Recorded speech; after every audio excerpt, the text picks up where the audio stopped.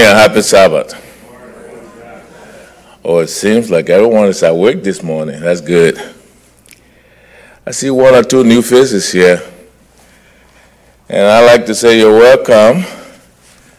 You could have chose you have, you would have chose to be somewhere else, but you chose to worship with us. We feel blessed and welcome. Let's go to the Lord in prayer. Dear Heavenly Father, we thank you for loving us. We thank you for giving us this opportunity to gather in your name to worship together. Lord, as we transition to our regular worship, we pray that those that are on their way here, you bring them in safely. And those that are not able to make it, Lord, we ask that you be with them wherever they are. Open their hearts, open their minds to be able to take your- your words. Lord, we ask that you be with us, all of us this morning. Open our hearts to the message this morning as we start. In Jesus' name I pray. Amen. We start our worship service usually with uh, a worship, a praise. And so let's ask our worship, our praise leaders to come up this morning. Yeah. Please lend your voices as well. Let's make a joyful noise this morning.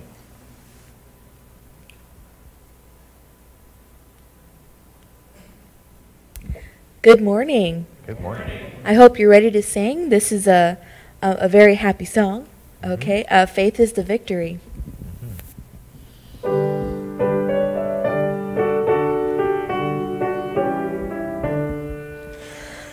Encamped along the hills of light, ye Christian soldiers rise, and press the battle ere the night shall veil the glowing skies. Against the foe in veils below, let all our strength unhurled. Faith is the victory we know that overcomes the world. Faith is the victory. Faith is the victory. Oh, glorious victory that overcomes the world. On every hand the foe we find drawn up in dread array. Let tents of ease be left behind, and onward to the fray. Salvation's helmet on each head, with truth all girt about. The earth shall tremble neath our tread, and echo with our shout. Faith is the victory. Faith is the victory. Oh, glorious victory that overcomes the world. To him who overcomes the foe, white raiment shall be given. Before the angels he shall know his name confessed in heaven. Then onward from the hills of light, our hearts with love aflame, will vanquish all the hosts of night in Jesus' conquering name. Faith is the victory. Faith is the victory. Oh, glorious victory that overcomes the world. Okay, another song about faith, um, about where we put our faith. My faith has found a resting place.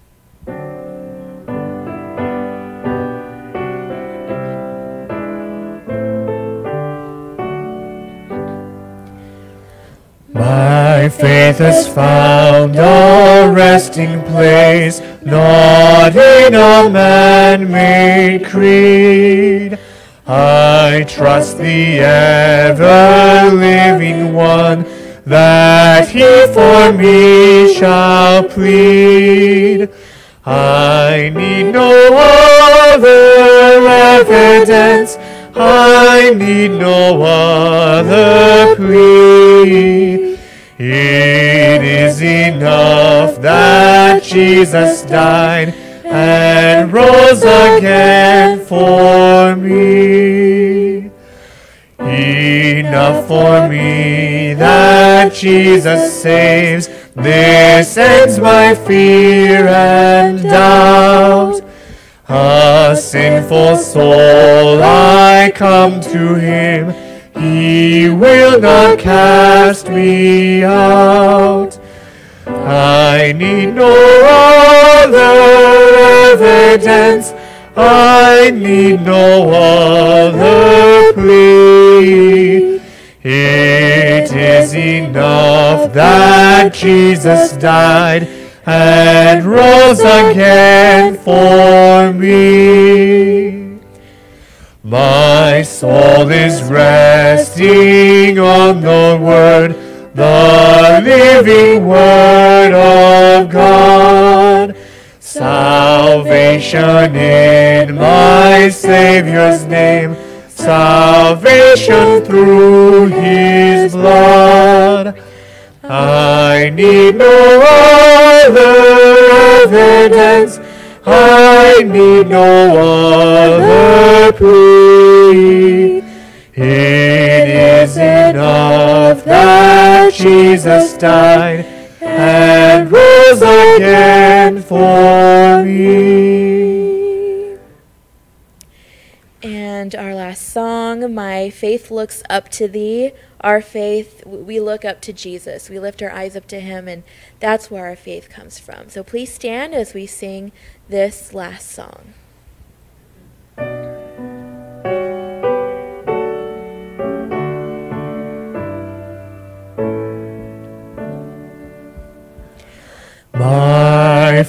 Faith looks up to thee, the Lamb of Calvary, Savior divine. Now hear me while I pray.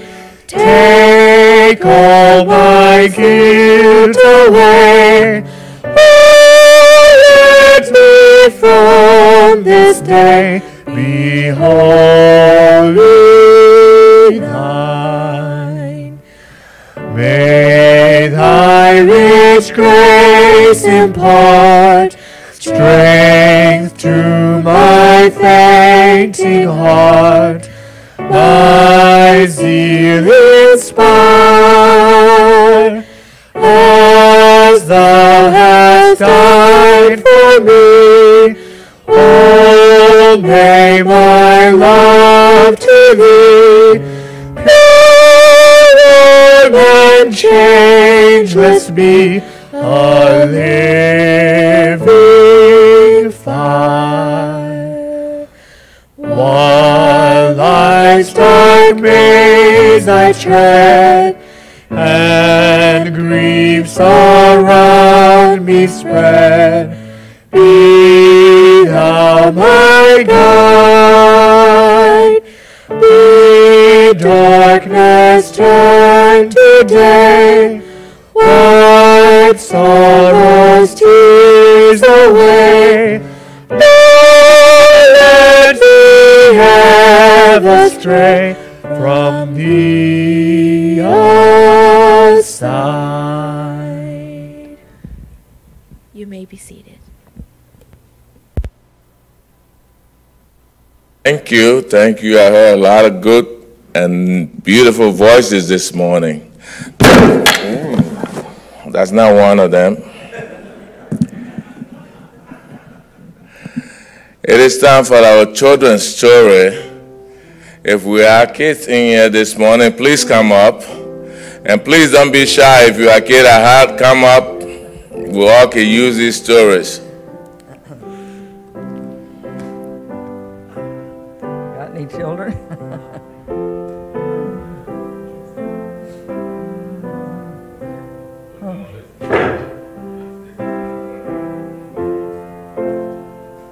Here comes one.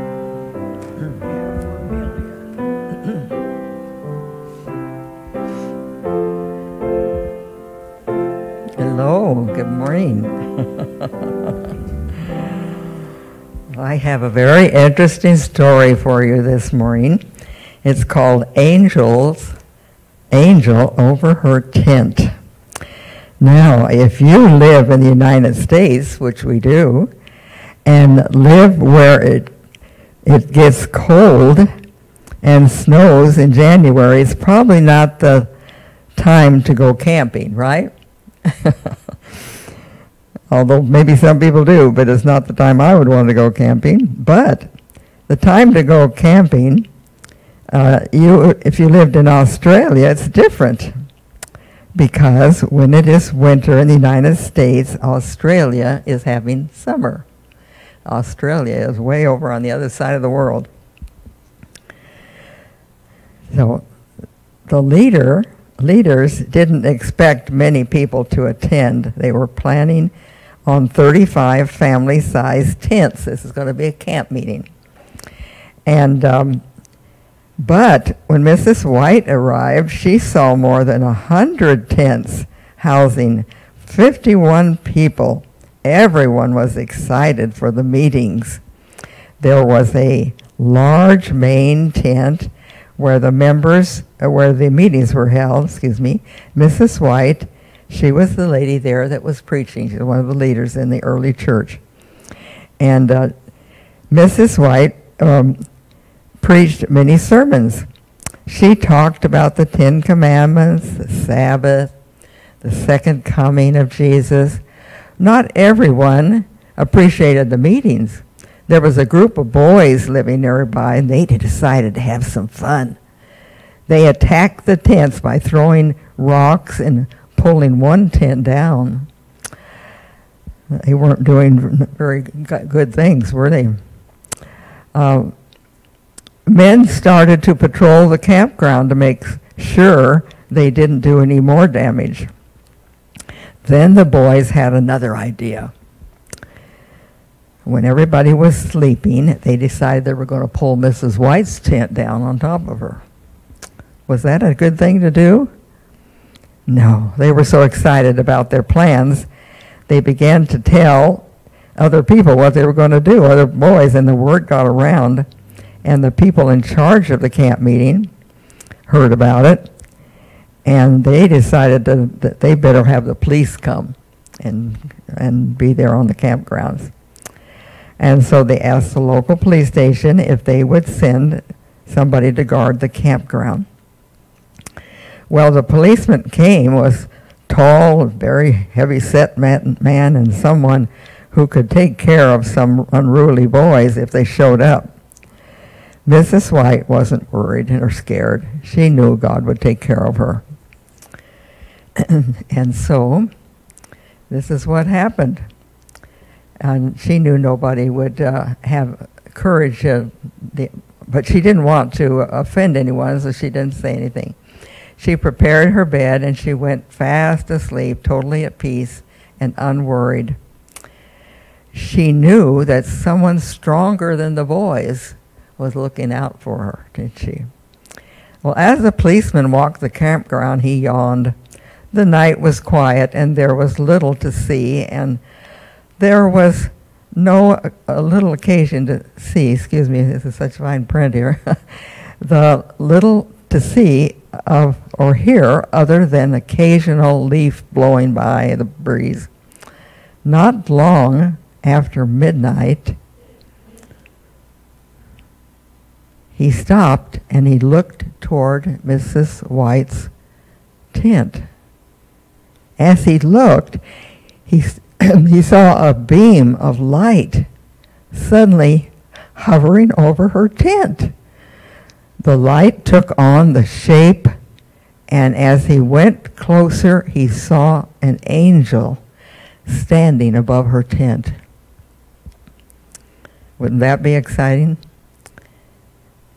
An angel was standing above her tent, and being a religious man, he dropped to his knees in reverence.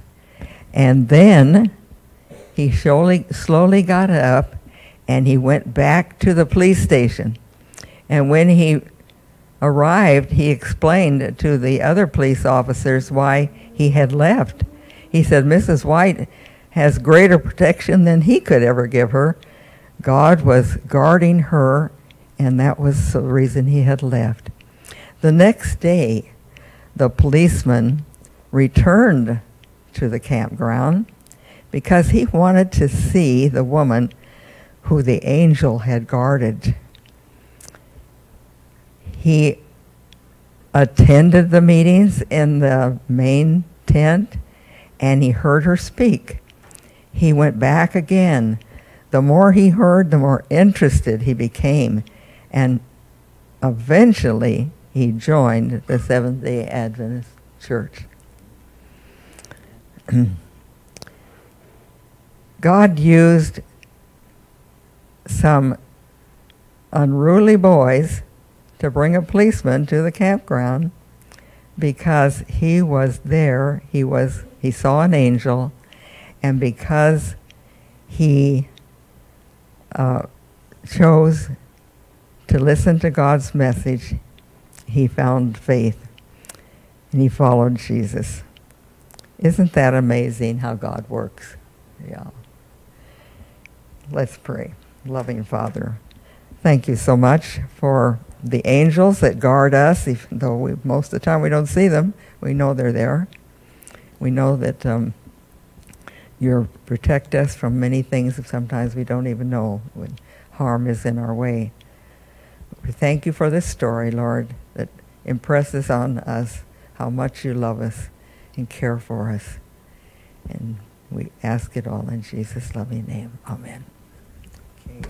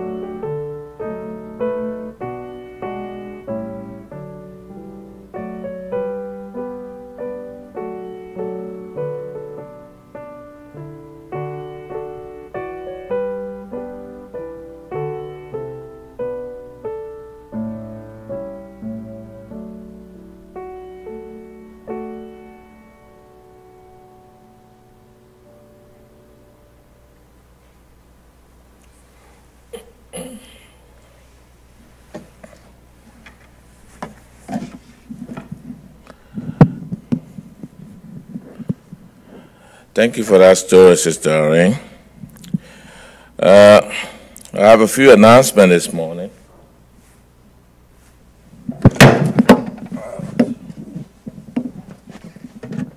This microphone is uh, it's really testing me. I think I was just holding my hand this time.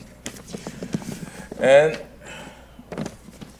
Again, I'd like to say happy birthday to all the February birthday folks. Happy birthday to you all. And the very first announcement this morning is an important one, very important one, and I will need your participation as well. This is the second reading of membership transfer, and we will need to have a little bit of a vote for this one and I'm sure the vote will go well for all of us. The second reading for Sarah Baze, transferring from Clovis SDA Church, and Timothy Baze, transferring from the Central California Conference Church. Who are in favor? Raise your right hand. All against? It's scary. Welcome, and we are happy and pleased to have you with us. Amen. Uh, the next announcement that I have is uh, teen retreat for 2024. In 2024, uh, April 5 to 7, the Central California Conference Senior Youth Department invites all girls ages 13 to 18 to the annual teens retreat. This will be held at Camp Wawona again April 5 through April 7. The speaker will be Nicole Parker. See the flyer? I don't know who she is, but uh, any, anybody need additional information, uh, details in the flyer. Uh, again, beginning next month, our park lot will be uh, on the first and third Sabbath and fifth Sabbath. So, uh, but today we do have uh, potluck, and this is the last potluck we're having. This is the last month that we're having potluck every Sabbath. Beginning next month is on the first and third Sabbath. Uh, this uh, prayer time usually after church you stay in for like five, between five and 10 minutes, not that long, just to say thanks and for everything we've done. So feel free to stay after church.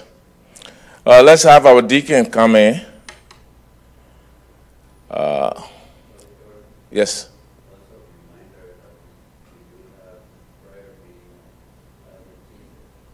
Yes, that is in a bulletin. There's a standing prayer meeting every Tuesday between 6 o'clock. Yes, it is not on the announcement today, but yes, this is a standing meeting that we have. Every Tuesday at 6 o'clock, there's a, there's a prayer meeting. Please, thank you for reminding me. Well, this is time that we, uh, we go into our pockets to return a portion of what we've been blessed with. And uh, we're asking you to remember our church in this as well. The offering, the theme for the offering this week is Conference Faith Advance. So let's pray.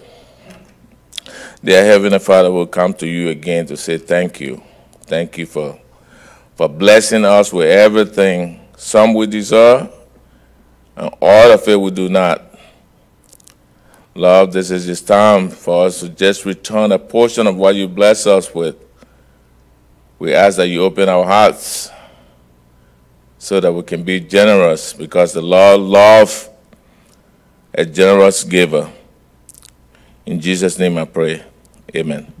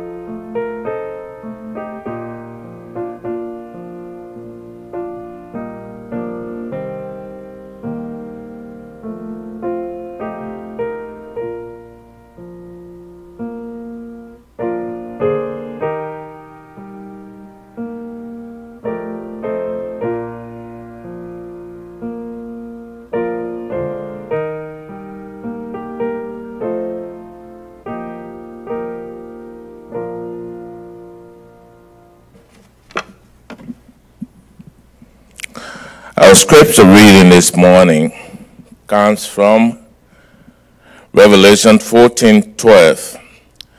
And I'll be reading from the, King, the New King James Version. And the Bible reads Here is the patience of the saints. Here are those who keep the commandment of God and the faith of Jesus. May the Lord add his blessing upon the word. Now, this is time that we have our corporate prayer, and uh, we have not reached that point yet where we will pass the mic around for you to tell us what you've been blessed with.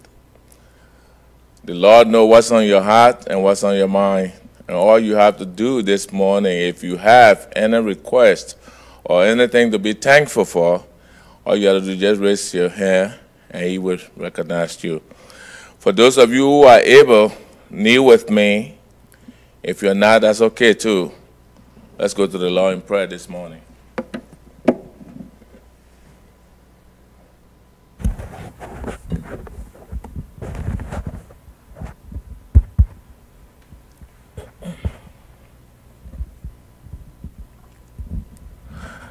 Dear Heavenly Father, we once again come to you to say thank you.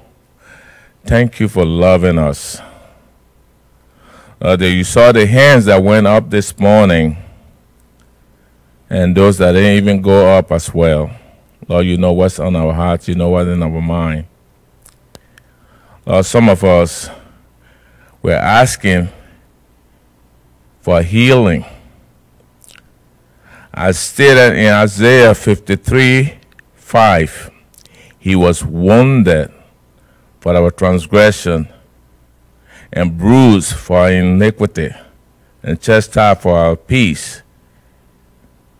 And by his stripe we were healed. Lord, I pray that you open our hearts and mind and give us the wisdom to understand this particular verse and understand that we were healed.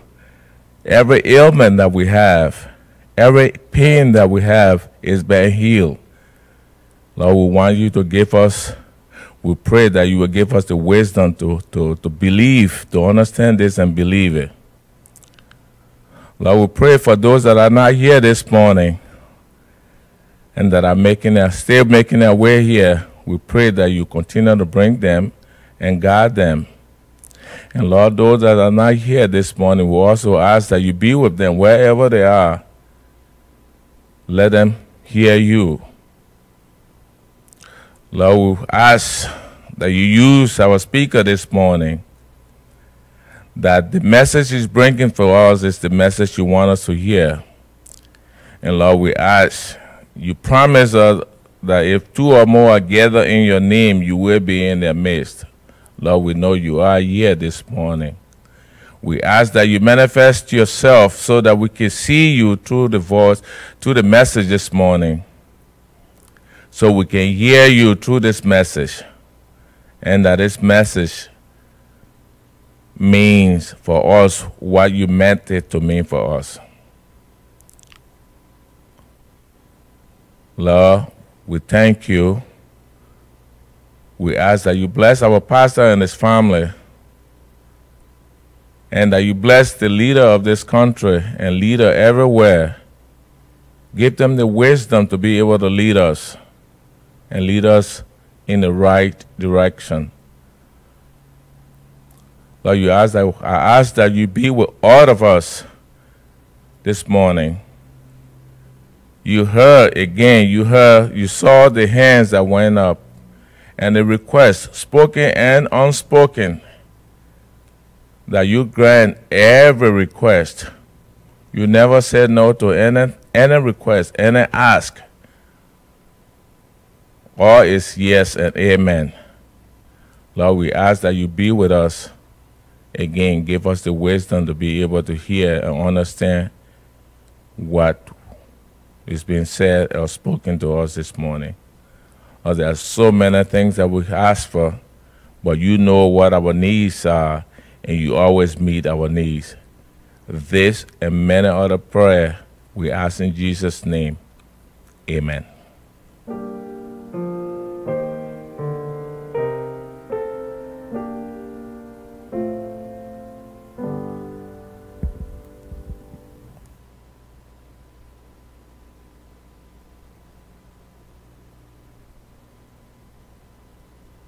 Since you know who our speaker is, I'd like you to help me welcome our speaker, our pastor, Tim Baze.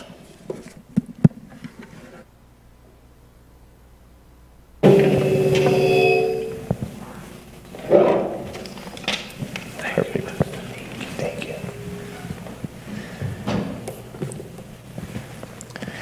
Good morning and happy Sabbath. It's very good to be with you again. It's been a while. I don't know, maybe it seems longer for us, but it's been maybe about a month.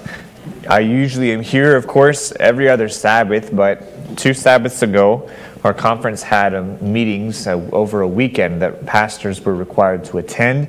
So Sarah and I were over there, and we couldn't be here with you, um, but we're glad we can be back.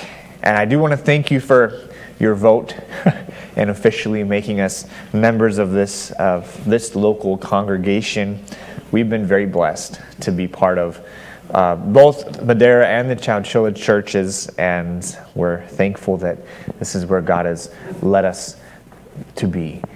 Before we get into our message this morning, I have one. Um, yeah, I have one announcement that came to me after the bulletin was printed and everything. So, um, in two Sabbaths, this is March 9, 4 o'clock p.m. Monterey Bay Academy. Thank you. Yeah, read my mind. Thank you, CJ. Uh, uh, Monterey Bay Academy will be having a special concert at the Chowchilla Church. Um, that'll be at 4 o'clock p.m. Their West Winds and Ocean Airs, that's their band and their choir, will be performing there at the Chowchilla Church. And we want to invite all of you to come. It'll be a nice afternoon Vespers program, um, beautiful music, and I think you might like to be there. So, wanted to invite you as well. You can bring friends, um, and we'll be inviting other local churches, but I wanted to be sure to mention that to you. All right. Now, before we uh, get into God's Word, I invite you to pray with me. Father in heaven, we need you. We need you so much. We live in a very chaotic and confusing world, but you offer peace. You offer mercy and grace. You offer stability and a promise that someday soon none of this will be like it is now and everything will change. But we're still on this side of the change, and we ask that you would give us wisdom to know how to live and how to trust and how to keep our eyes on you. We thank you so much that you promised to give us this in your Holy Spirit. We ask that the Holy Spirit would lead each one of us as we listen to what you have to say to us today. We ask that the Holy Spirit would speak to us. And we thank you for your promise to be with us. In Jesus' name, amen.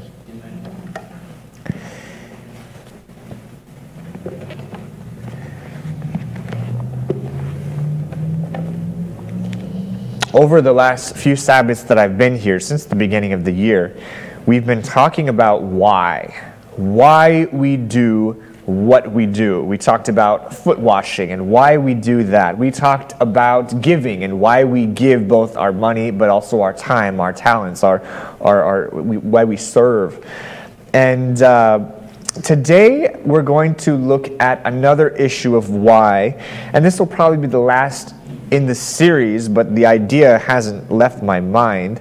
Um, but specifically asking this question, why? I want to look at one of the very pivotal earliest beliefs that our church family, the Seventh day Adventist church family, has held and ask that question why? Why do we believe this? Why is this important?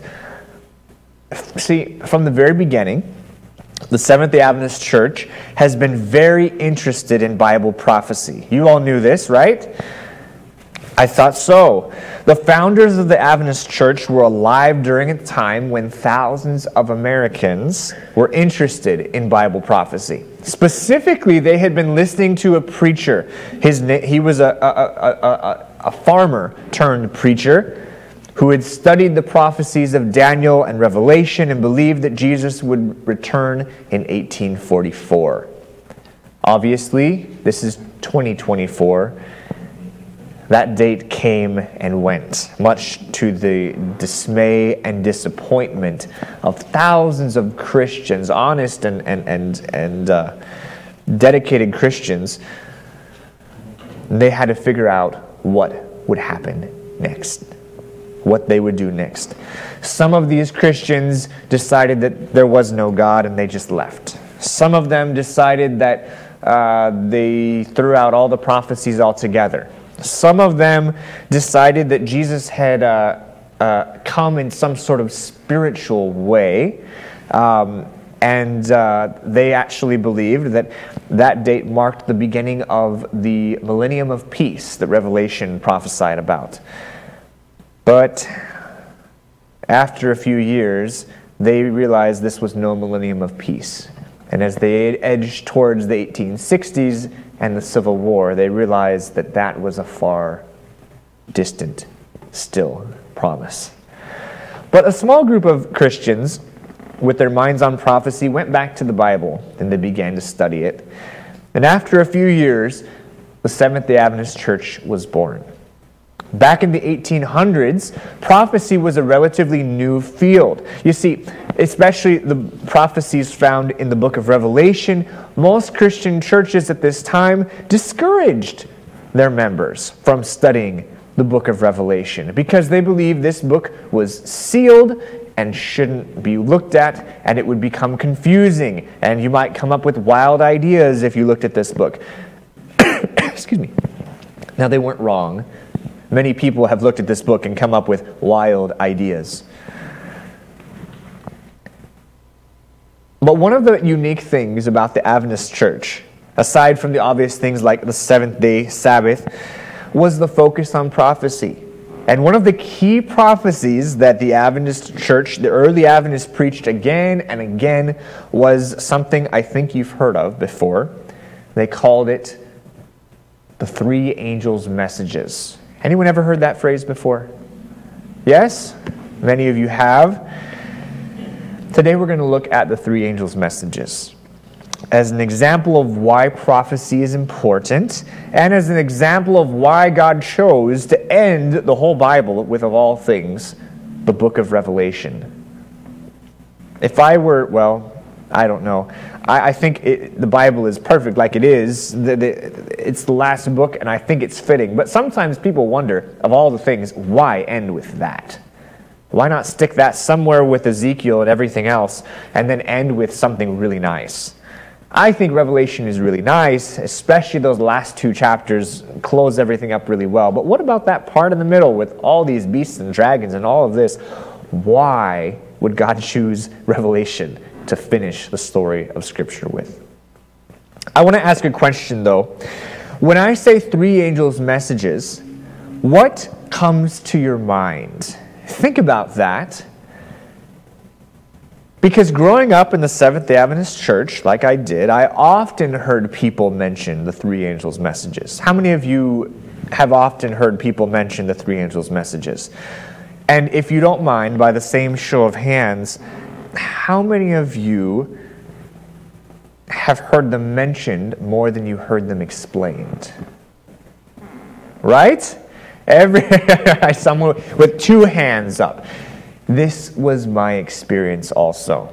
See, growing up in the Adventist church, people would say, Oh, these are important. These are the unique message of the Adventist church, and pastors should be preaching them more often.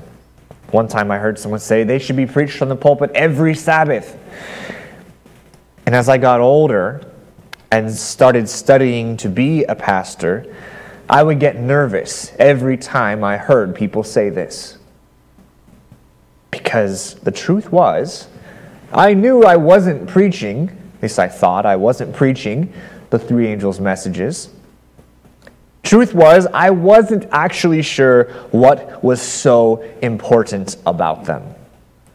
Because if you asked me, the day I graduated with my Bachelor's of Theology from PUC, uh, why the three angels' messages were so important, I probably would have said this.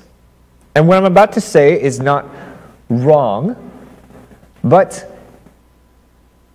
you'll see why I was unsatisfied with this answer. The, the first message I would, I would have said then tells us we should keep the Sabbath. And the second and third messages tell us what would happen if we don't. Now, that's very simplistic. It's not totally wrong, but I probably also would have added this note. I would have said, I need to study this a little bit more. You see, I remember people telling me that the three angels' messages were all about righteousness by faith. But I wasn't sure how. I didn't understand how that could be the case. And so, as I do with most things that I don't understand, even to this day, if I don't understand something, I pray and I say, God, I don't know what this means, but I hope you'll explain this to me someday. And I moved on and talked about and preached about other things that I did understand. But I kept hearing preachers and church members talking about those three angels' messages. Some people would assign timelines to when they were when they were preached. Someone said there was a fourth angel's message in Revelation 18. And then there were the people who complained, "Oh, those pastors, they don't preach the three angels' messages anymore," which of course made me more nervous because I wasn't preaching them. and then I would hear, but the most I would hear, as I hinted at before, when pastors would talk about them from the pulpit, they would say, The three angels' messages are important. But that's about all they would say. Or they would say, We have to study them out. But they would never tell me what they studied them out and figured out about them. Never once. And I don't say this as a way to disrespect anybody that taught me over the course of my life. Maybe someone did, and I just didn't get it when they were saying it. But never once do I remember anybody explaining to me what these messages meant and why they were very important.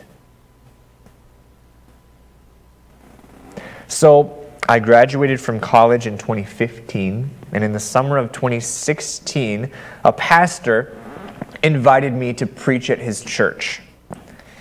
He actually asked my girlfriend and I, Sarah, to preach together at his church to share a message. Uh, we were working on a youth on the conference's youth evangelism team at the time, and so the two of us and two others, four of us, would travel around to uh, talk to teenagers and to share messages and, and, things like that. And so he invited us to preach at his church, and uh, me being the uh, young and naive uh, pastor.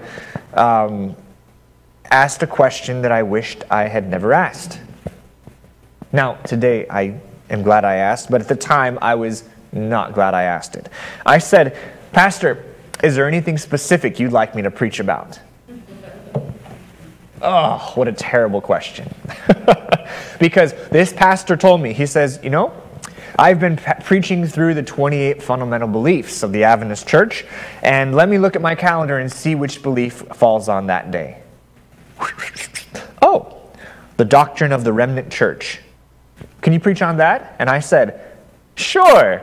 And in my head, I said, What do I do? All right? So, Sarah and I got together to get this sermon ready and to pray about this assignment. I was probably more stressed out than she was. When I read through the belief and looked at the text, because if you're familiar with our 28 fundamental beliefs, if you're not, I'll just explain them real quick. There are 28 core principles that the Adventist Church believes. All of these are founded in Scripture, and they are backed up by Scripture. And we have a statement that summarizes what we believe, and then several texts that, that, that are, are where we find this belief, why we believe this way from Scripture.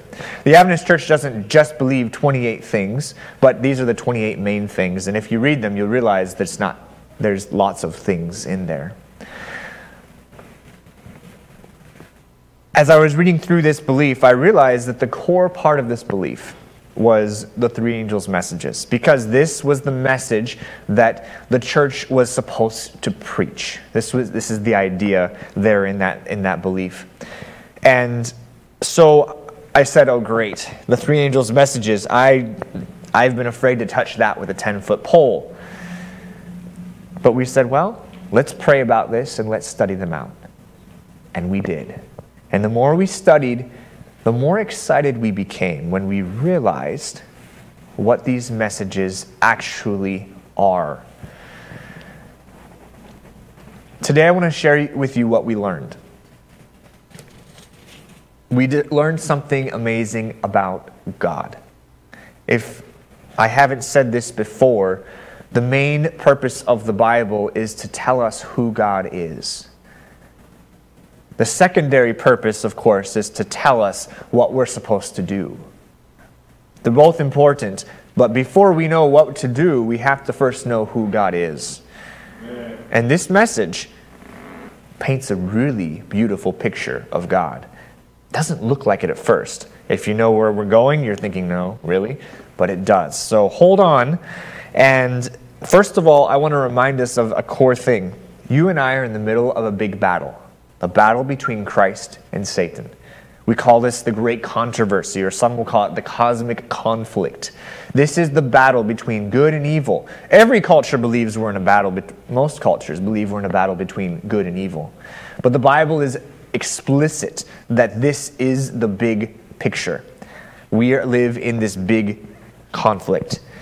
We also know from the Bible, and we're going to see this in Scripture today, that God loves us so much that he goes to great efforts to make sure everyone, everyone knows which side to be on in this battle, what side to avoid in this battle, and why it's so important that you and I are on God's side. And how to know for sure if we are on God's side. So, with all that prelude, I invite you to turn with me to the book of Revelation chapter 14. Some of you were anticipating that we're going there. Revelation chapter 14. This is where the three angels' messages are located.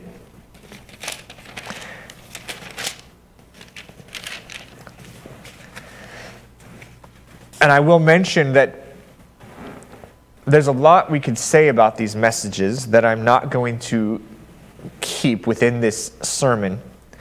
What I want to share with you today is not a detailed dig through this, sec- this uh, section of Scripture, but it's a lens that we can use to look at it and to look at the rest of Scripture so that we know what God's primary purpose in giving us this message really is.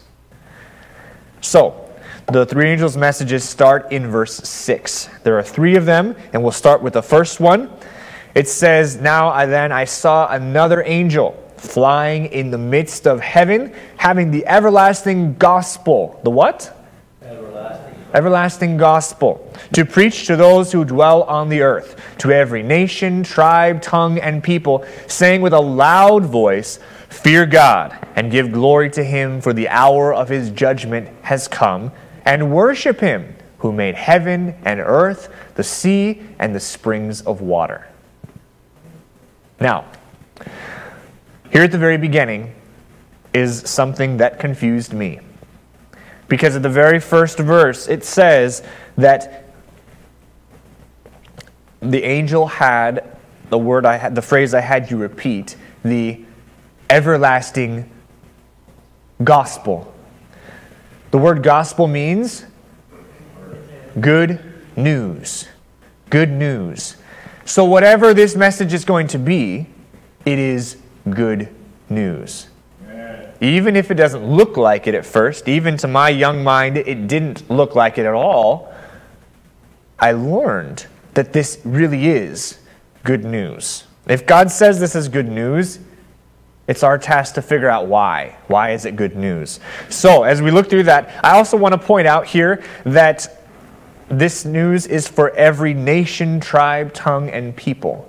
There's no people group, no person on this planet that this good news is not for. Because God does not discriminate about who He gives His message of hope to, He gives it to every person individually. And I think He gives it to everyone in ways they can understand it. Part of our mission is to explain the gospel in ways that other people can understand it well. And then here's and then here's the message: fear God and give glory to him, because the hour of his judgment has come. And worship him who made heaven and earth, the sea and the springs of water. Now, growing up, I heard I knew how to interpret this part. We emphasize this. Worship him who made heaven and earth, the sea and the springs of water. This is the same phrase found in the Sabbath command in the Ten Commandments. It's any time that the New Testament, especially Revelation, but any time the New Testament alludes to or quotes from the Old Testament, the author intends for you to look back at that place in the Old Testament to figure out why they called you to look at that. It's, it's like a footnote. We would write, we would, today, if we're writing, if you're writing a paper, you put a little footnote and say, I got this from so and so. And so, if I want to know more about, if, if I wrote a paper and you want to know why I said this and I put a footnote, you can read the book or the article or whatever that I quoted. It's the same thing here. So, there's a, there's a link here to the Sabbath, but I think there's more to this. There's something even bigger. First, again, this angel has the everlasting gospel. It's good news that lasts forever. Second, the news is for every nation, tribe, tongue, and people. There's no one that this good news isn't for. And third, there's a command fear God. This word fear means be in awe of, not be afraid, be in amazed, be in awe. Fear God and give glory to Him and worship Him because the hour of judgment has come. Now, this is the reason we're supposed to be amazed and give glory and worship that the hour of God's judgment has come. We mentioned this briefly at Sabbath school this morning, but judgment often to people seems like bad news. But the thing is, we look at it from the wrong perspective. I might have mentioned this before, but it's worth noting again. If you have to go to court because someone accused you of wrongdoing, you're going to be afraid. But if you're going to court because someone did something wrong to you and they're about to get the sentence that they deserve, it's good news for you. This is the case with the judgment. When the Bible talks about the judgment, as long as I'm on God's side, I don't have to be afraid of the judgment because the judgment is on the, those who have not followed God, and specifically the judgment, the one who ultimately gets all the blame, is not me, it's the devil. Another way to look at this, of course, is that God is on trial to see whether God is just or not. And in the end, we know that He is. Either way, the judgment is something that we can be excited about. We don't have to be afraid of. This is what this text is, is, is telling us. Finally, Satan is going to be held accountable for all he's done to hurt God's people. God's character will be vindicated. In other words, everyone will see that God has been good this whole time. And everyone will see that it was the devil who caused all the suffering. So the hour of judgment is good news. But the main point of the first angel's message, I think we can sum up in two words worship God. This is the command here worship God. Because God's character is about to be vindicated, so you want to be on his side. This is the choice that we have. And then the language gives us a clue, of course, that Sabbath is important to worshiping him. But again, the first message here, the main point is worship who? Worship God. Worship God. And herein lies the problem. You see, God isn't the only one seeking our worship and devotion, is He? God's enemy, the devil, also wants our worship and devotion. But he knows we would never worship him on purpose. So he tries to trick us into worshiping him. Tries to trick us into thinking we're following God when we're really following the devil. There's a reason why when Jesus' disciples came up to him in Matthew chapter 24 and said, Lord, what will be the sign of your coming? The first thing Jesus said to them was, Don't let anyone trick you. Let no one deceive you. Because the devil's main tool is deception, trickery, chaos, and confusion. This is what the second angel's message is about. God knows that the devil is good at tricking people, so he warns us ahead of time. This is now verse 8. Another angel followed, saying, Babylon is fallen, is fallen, that great city, because she made all the nations drink of the wine of the wrath of her fornication. Babylon, of course, means confusion. There's a way that is chaos. There's a way that is confusion. There's a way that the devil wants to get you to, tr- be, to trick you into going. God tells his followers, watch out. The devil is trying to trick you, so don't be confused. Don't get caught serving Babylon instead of serving God. Don't be confused. In fact, this is the same message again let no one deceive you. The summary of this message don't be tricked into worshiping the devil but instead worship God. So God tells us who to worship, He tells us who not to worship. And of course, digging deeper into this, we, we can realize what Babylon actually represents um, a very big picture of going against God. But this, in, the, in the simplicity of all this, worship God, don't be confused. And now we come to the third message. This one is different from the other two. The first two messages were short and sweet. This one is neither short nor sweet. It's long and harsh. There's a good reason for this, though. See, in the Bible, God calls us his children. And as we've been talking about this before, children have that one question they love to ask, and that question is, why? Why can't I do this? Why is it so important that I don't follow Babylon? Why, why, why? Well, here's the reason. God knew we would need to know why we have to avoid being tricked by Babylon. why we have to be on guard for the devil's confusing deception. After all, one could ask, well, if we get tricked into doing the wrong thing, is it really our fault? It is. If we've been warned ahead of time about the trickster. Remember in the Garden of Eden, the serpent tricked Eve into eating the fruit? Snake didn't come out and say, Hey, I'm Satan, and if you eat this fruit, you'll die. He didn't say that, did he? He tricked her into thinking that she was doing the right thing when she really wasn't. But God had warned them ahead of time. In fact, God had already told them what is good, what was bad, and what the consequences would be. The three angels' messages are the same thing. God told us what is good, what is bad, and now He's about to tell us what the consequences would be for our actions. Revelation 14, now starting in verse 9. Then a third angel followed them, saying with a loud voice, If anyone worships the beast and his image, and receives his mark on his forehead or on his hand, he himself shall also drink of the wine of the wrath of God, which is poured out full strength into the cup of his indignation. He shall be tormented with fire and brimstone in the presence of the holy angels and in the presence of the Lamb, and the smoke of their torment ascends forever and ever. And they have no rest, day or night, who worship the beast in his image, and whoever receives the mark of his name. Now, there's a lot in there. That's not a very happy verse, is it?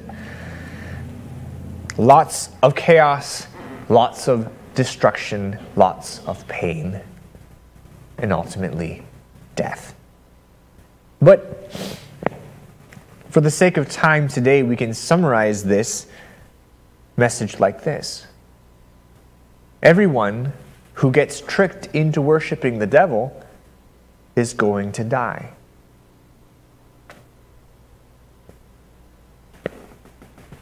See, God is giving this warning to us because He loves us. Please, God says, don't be tricked into following the devil. The devil's tricks only lead to suffering and death, and I don't want you to die. So, again, worship God. Don't be tricked because God does not want you to die. Notice it's the same punishment that God gave Adam and Eve. Eat from all the other trees, eat from all the trees in the garden of the garden, but of the one tree that's in the middle of the garden, do not eat it, don't touch it, because you will die. It's the same pattern here in Revelation. The same pattern here in these three angels' messages. At this point, though, you might be saying, Pastor, I don't want to be tricked by the devil, but the devil is so clever that I'm afraid I might be tricked and not know it. You ever wondered that? I did. That's why this message is so important to me. God anticipated that question. So, with that third angel, he sent along a little footnote, a PS. And in this little note, we find the way for us to know for sure if we are on God's side or if we've been tricked by the devil. It's Revelation 14, verse 12. It says, Here is the patience of the saints. Here are those who keep the commandments of God and the faith of Jesus. Another way to read this is here's how the saints endure until the end. They do what God tells them to do, and they trust in Jesus. That word faith and trust. They trust in Jesus. See, this is the final, the, the, the most important part of these messages. I mentioned this last time I was here a little bit about Hebrew thought. And if I remember right, I told you I would tell you about this in two weeks, and now it's been four. So now I'm going to fulfill my promise because I forgot that I was going to be gone. we talked about Micah chapter 6, verse 8. He has shown you, O man, what is good, and what does the Lord require of you but to do justly, and to love mercy, and to walk humbly with your God. And we talked about how in Hebrew thought, they often would put the first thing you should do in the last part of the list. So in this particular one, we walk humbly with God first, And as we walk humbly with God, we will learn to love mercy because we'll learn to love the things God loves. And as we walk with Him and as we learn to love mercy, we'll start that love for mercy will start to change our own actions and we will start to do justly, to treat other people in a way that's right. It's the same idea here as well.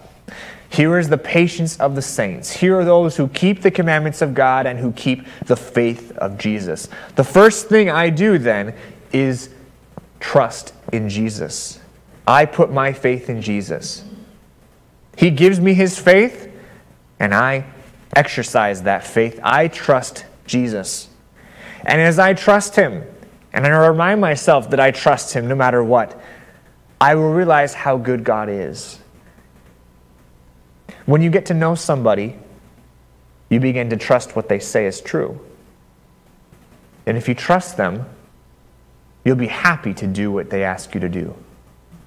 So, first, I trust Jesus, and then I learn to do all the things He asks me to do. So, as I have that faith in Jesus, and then I keep the commandments of God, then I will be able to have patience I will be able to endure. It's the same word in Greek. I believe it's, uh, it's a fun word. It's hupomone. It means patient endurance. This is how I can have patient endurance until the end. I trust Jesus. I have faith in Jesus. I do what he asks me to do, keeping his commandments, and this is how I will endure. The end goal is for the saints to endure. But first, we have to put our faith in Jesus. Do what he says, and we will be able to endure all the way to the end. This is why the, right, the, the uh, three angels' messages are about righteousness by faith, because it all starts with faith in Jesus. I trust Jesus. This, I, I, Jesus lives inside of me. This empowers me to keep God's commandments to do what Jesus asked me to do. As long as I trust Jesus and I follow him, I will be able to endure any trick the devil throws my way because I have Jesus living in me.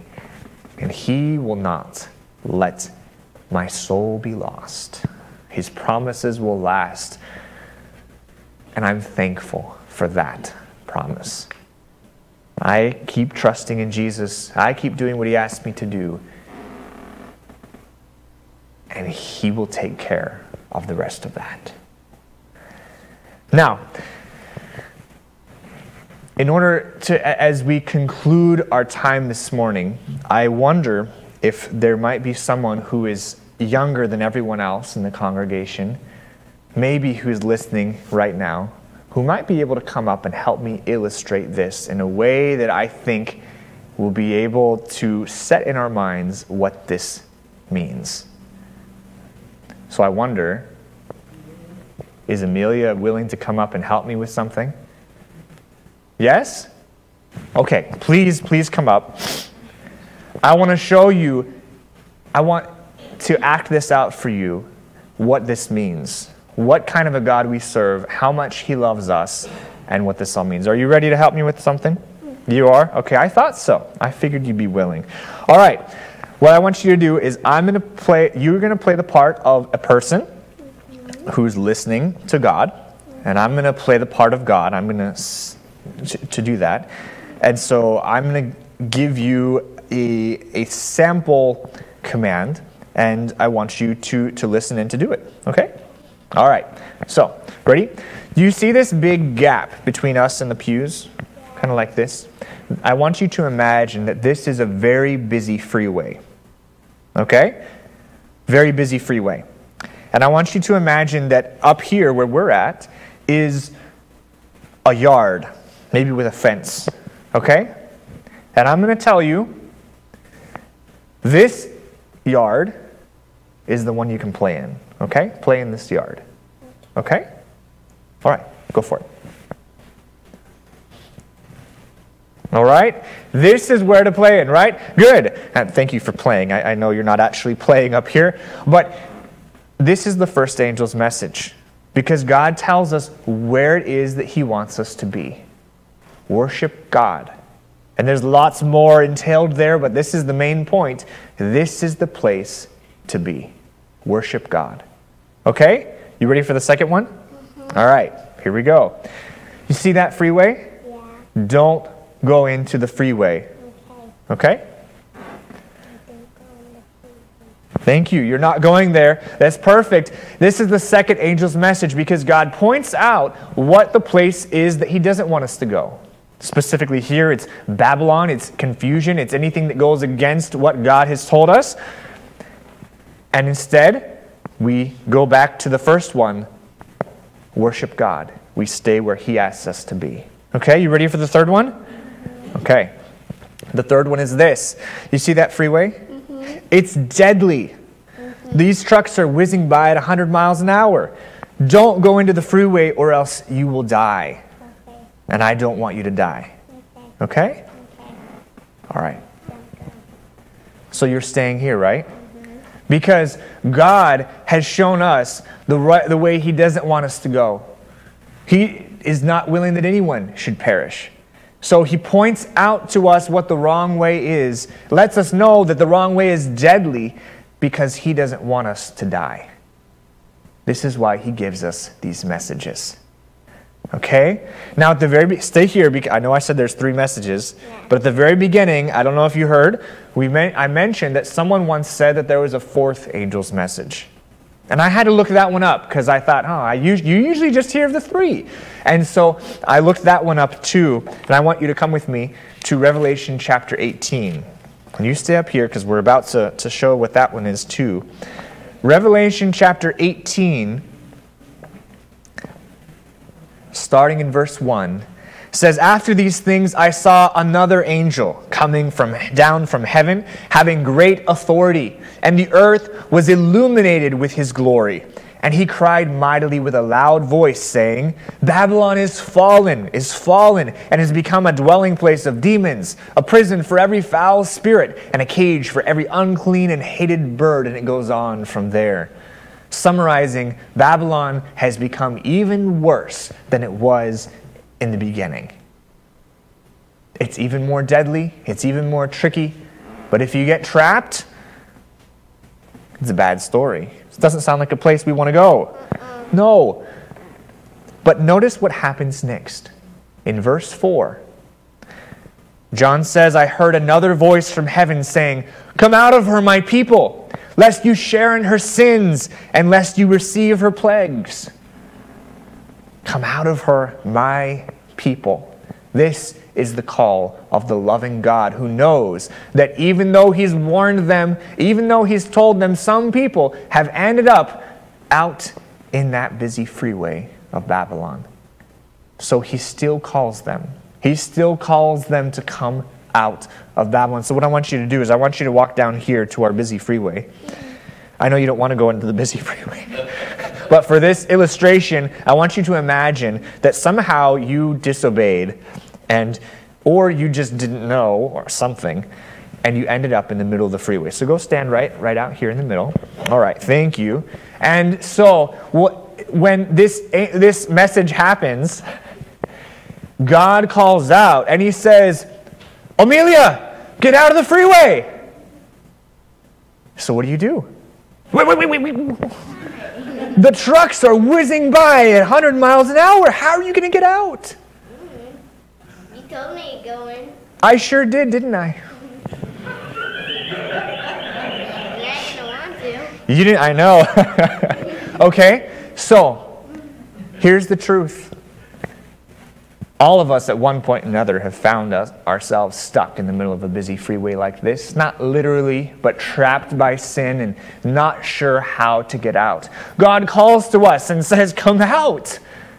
But God does, God does more than just call and tell us to come out. A few weeks ago, if I recall correctly, in Sabbath school, you were helping me illustrate something. Do you remember that? In Sabbath school? And we were looking at, it was last month, Psalm chapter 40, one of my favorite Psalms. And this Psalm tells us that when we are stuck, the Psalm talks about being stuck in a pit I'm going to apply it to being stuck in the middle of Babylon, in the middle of a busy freeway. God says that this is how we can get out. He calls us, Come out of her, my people. But we can't get out on our own. How are we going to find our way out without getting hurt? Here's what God says He will do when we call out to Him for help. It says, I waited patiently. And I'm going to ask you to act this out as I do that. So maybe turn around. There we go. It says, I waited patiently for the Lord. And this is what God does He inclined to me, and He heard my cry for help. Mm-hmm. He also lifted me up out of the miry pit, out of the busy freeway, out of a horrible pit. And he set my feet on a rock, and he established my steps and put a new song in my mouth, a hymn of praise to our God, so that many will see what God has done and will be amazed and will also trust in God. Thank you so much for helping us illustrate how God, good God is. You can, you can go back to your seat. This is the type of God that we serve. And I wanted you to see this acted out because I think that it's, it's powerful to see how what these three angels' messages really are all about. The message that we have to share is a message that God calls us to worship Him. He tells us which place to avoid that's dangerous. But not only that, He loves us, calls us to come out of there, and of course, He's the one who will reach down into whatever place we're at, whatever chaos, whatever confusion we find ourselves in, and He will pull us out and set us on a rock and help us to follow Him again. How do we know? How do we know that we're on God's side? Put your trust in Jesus. Let Him live inside of you. Li- listen as He instructs you in the way that you should go. And you and I can have confidence that as long as you put your trust in Him and obey what He says to do, you will be able to endure whatever chaos, whatever trickery, whatever the devil sends your way. If you'd like to put your trust in Jesus today, I invite you to stand with us as we pray.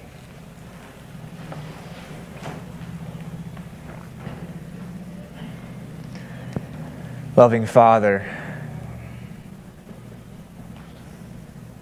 I'm amazed at the beautiful picture of you that we find here in this passage. A God who loves us too much, too much to let us live without a warning, too much to let us just suffer at the hands of whatever the devil wants to do to us. It's why you came originally down into our mess so that anyone who would listen, anyone who would obey, anyone who would trust would have life. Thank you for giving us this gift of eternal life. Thank you that we can trust that you will take care of us. Give us strength to do what you ask us to do and lead us to endure to the end. Thank you so much for what you are doing. We ask that in our lives as individuals, in our lives as a church, that you would help us to keep trusting in you, to do what you ask us to do, and know that you will ensure that we can endure to the end as we trust you. Thank you so much. In Jesus' name, amen. Our closing song today is a song about trusting and obeying. It's a hymn called Trust and Obey. And you're already standing, so please join us as we sing that, this song.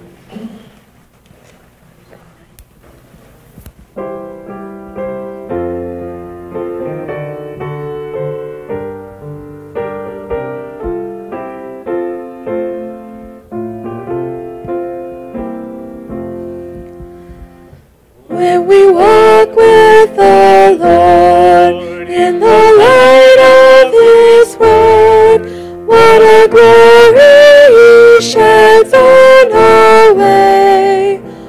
While we do His good will, He abides with us still, and with all who will trust and obey.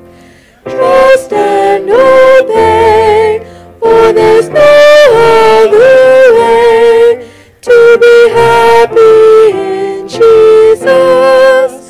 but to trust and obey. Not a shadow can rise, not a cloud in the skies, but His smoke quickly drives it away. Not a doubt, nor a fear, not a sign nor a tear abide we trust and obey. Trust and obey, for there's no other way to be happy in Jesus but to trust and obey. Then in fellowship sweet, we will sit at will by His side in the way. What He says we will do, where He sends we will go. Never fear, only trust and obey.